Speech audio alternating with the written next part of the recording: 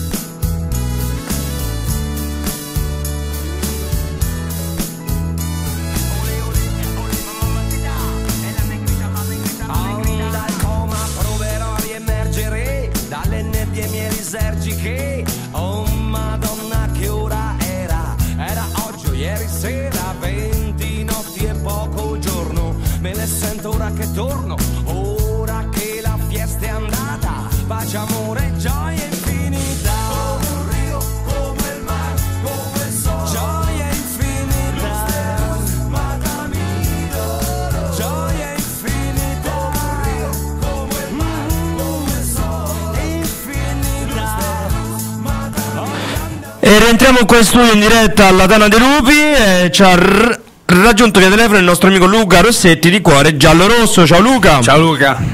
Ciao Matteo, ciao Ale, buonasera a tutti. Buonasera.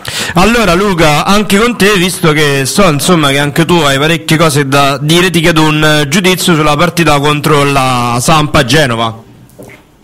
Sì, allora io credo che sia una partita considerando solo quello che è successo sul campo eh, e credo che abbiate capito che cosa intendo, di cui si può dire veramente di tutto di più, perché ci, secondo me ci sono stati momenti dove la Roma ha giocato malissimo, momenti dove la Roma invece ha giocato molto bene, mi riferisco per esempio alla prima metà del secondo tempo e poi paradossalmente ha preso due gol nel, nel momento in cui stava spingendo di più, eh, insomma, però al di là di questo io credo che abbia pesato molto l'arbitraggio di, di Mazzoleni, insomma, perché si può criticare la prestazione, si può dire quello che si vuole, però eh, ci sono stati due errori gravi da parte del, del, direttore di gara che hanno condizionato in maniera molto importante, anzi secondo me addirittura decisiva, la partita. E mi riferisco alla punizione quantomeno eh, ridicola concessa alla Sampdoria per il... Per il 2 a 2 e poi e per il 3 a 2 anzi e poi il rigore clamoroso non concesso a Geco per fuorigioco che non c'era proprio dello stesso attaccante giallo-rosso. Insomma io vorrei focalizzare l'attenzione su, non tanto sugli episodi ma sull'atteggiamento che ho visto da parte di molti tifosi della Roma in relazione a questi episodi perché in altri tempi questo è un discorso che ho visto fare per esempio a Cristiano in questi giorni che condivido in pieno, tra l'altro saluto Cristiano che sicuramente ci sta sentendo, insomma una volta si gridava al complotto, si gridava al ladro, si gridava al furto, oggi invece addirittura noi siamo diventati, come dice lo stesso Cristiano, forse anche troppo sportivi, noi siamo quelli che due anni fa abbiamo chiesto scusa all'Empoli per un rigore dubbio nella partita di, di Coppa Italia, rigore che poi fra l'altro a termini di regolamento poteva anche starci ma poi siamo diventati anche quelli, insomma, usiamo questo plurale maiestatis insomma, per dire comunque alcuni tifosi, siamo diventati quelli che addirittura dicono che non bisogna parlare di episodi quando la squadra gioca male, questo è un modo di vedere il calcio che sinceramente non mi appartiene perché io credo che la squadra vada criticata sì per la prestazione, perché secondo me la Roma avrebbe meritato al massimo un pareggio anzi avrebbe meritato un pareggio perché penso sarebbe stato il risultato più giusto, però le critiche vanno fatte alla prestazione, ma una brutta prestazione secondo me non può implicare che sia giusto eh, mazzolare la squadra dal punto di vista arbitrale. Sì, io ma ovviamente insieme eh, agli errori arbitrali dal punto di vista della squadra è mancato qualcosa. Io appunto direi proprio perché non, non penso sia giusto chiamare alla sbarra degli imputati tutta la squadra. Secondo me alcuni giocatori hanno giocato anche oltre la sufficienza. Ti chiedo però una, una parte forse era in ritardo sia di condizione oppure, menta- oppure di attenzione, mi riferisco al reparto difensivo. Ma secondo me sono in pochi se analizziamo proprio la prestazione quelli che hanno giocato bene, perché ho visto molti giocatori in verità sottotono perché sì, per esempio Totti quando è entrato ha dato due o tre palloni buoni. Beh, Scesni pure direi.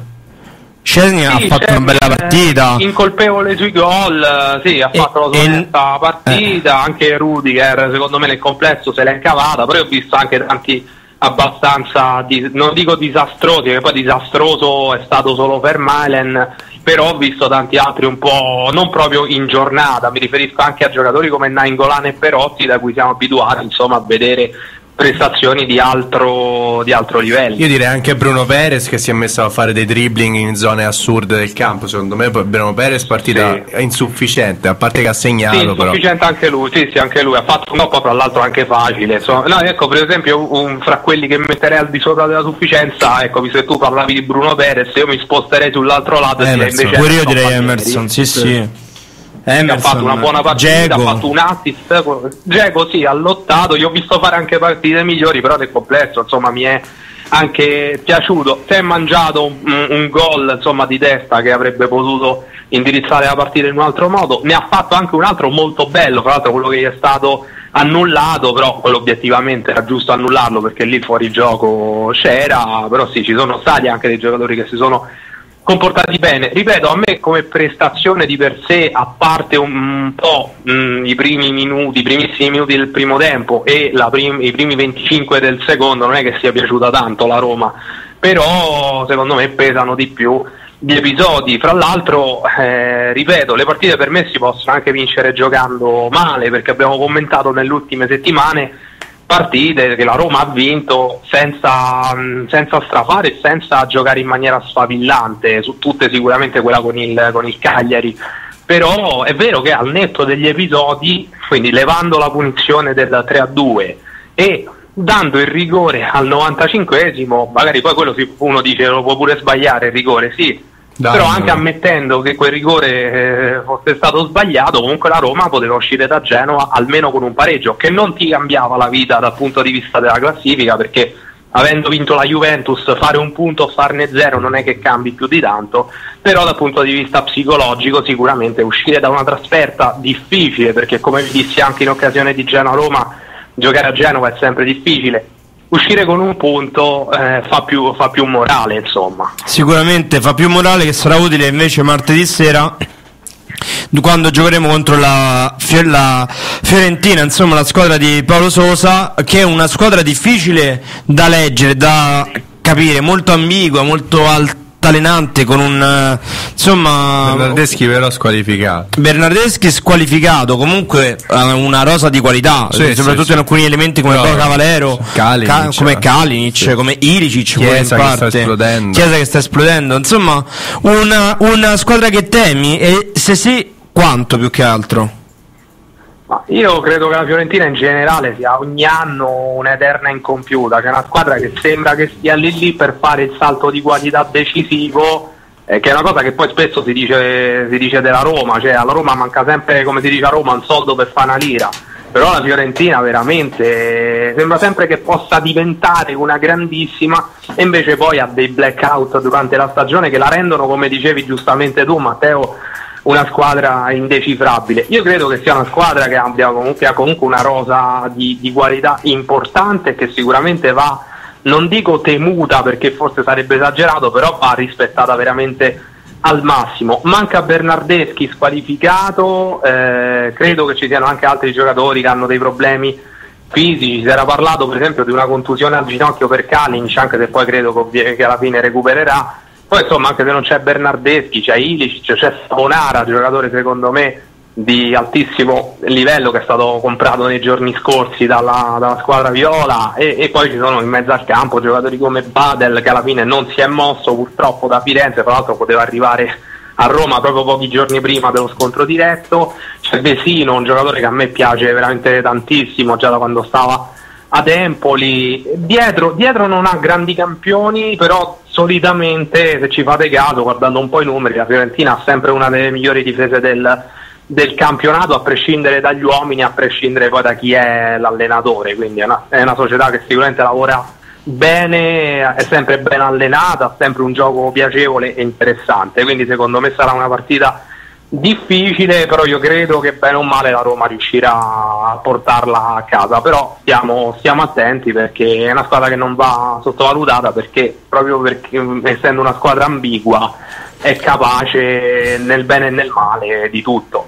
Sì, non sai mai cosa aspettarti. Eff- effettivamente, no, no. Sì, è una squadra molto. A, a, me il suo allenatore piace molto. Gli manca sempre qualcosa come squadra, ma non riuscirei neanche a dire es- esattamente cosa. Secondo me un grande fattore sarà che giochiamo in casa perché noi al Franchi invece solitamente loro la, ci leggono molto bene la partita e la preparano soprattutto molto molto bene.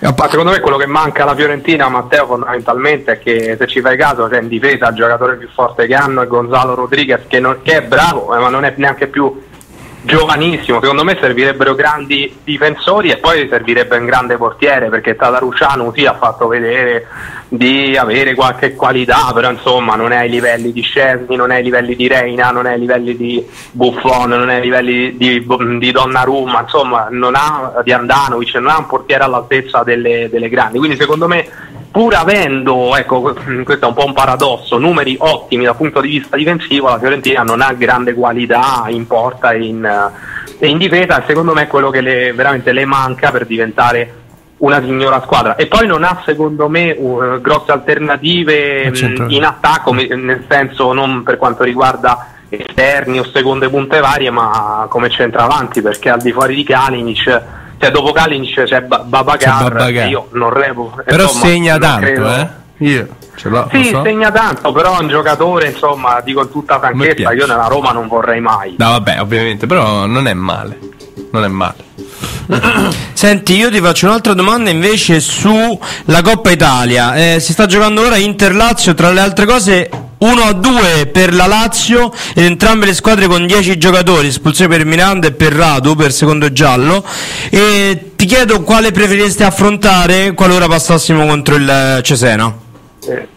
Allora, intanto ah, so che non si risponde a una domanda con una domanda, però ti chiedo chi ha segnato il 2-1 perché ho visto fino al 2-0, tra l'altro obiettivamente mi pesa dirlo, ma la Lazio stava ampiamente meritando, quindi chi ha fatto il 2-1? Brozovic, ha segnato Brozovic. So, che è stato espulso Radu. Sì, al 76esimo per atterramento, eh. insomma. Allora, guarda, dal punto di vista prettamente tecnico, sono sincero, preferirei la Lazio però a parte insomma vabbè al di là del 13 maggio i derby precedenti di Coppa Italia li ha vinti la Roma ricordo due con Capelli in panchina e poi quello del 2011 con, um, con Ranieri e, um, e Reia sulla panchina della Lazio però eh, insomma, quindi dal punto di vista tecnico ti direi la Lazio secondo me spesso li, li soffriamo anche in Coppa Italia ricordo i famosi quattro derby persi nel 98, insomma, voi eravate, eravate giovanissimi. Rispetto, eh sì, fin troppo, nel senso che... Fin troppo giovane, io invece lo ricordo un pochino più fresco, nonostante siano passati tanti anni. Però dico, dal punto di vista tecnico la Lazio, eh, però io ho sempre paura perché il derby è una partita che sfugge a qualsiasi pronostico dal punto di vista proprio della qualità è chiaro che sarebbe più difficile giocare, giocare con l'Inter, anche perché vabbè, stasera non so l'Inter che cosa abbia avuto, però un Inter che dal punto di vista almeno dei risultati stava bene, era gasata, insomma in un momento importante di forma e, e poi e sarebbe stato secondo me ancora più difficile incontrarla fra un po', che già poi lo faremo fra, fra pochi giorni, insomma fra meno di un mese c'è Inter-Roma a San Siro e anche quella sarà una partita bella difficile. Quindi non lo so, sono due squadre che io ho in antipatia praticamente allo stesso modo e, e, quindi diciamo che è indifferente quale delle due incontriamo. Io spero solo che la Roma, eh, chiunque delle due sia, l'affronti nel modo giusto perché insomma, sono partite andate e ritorno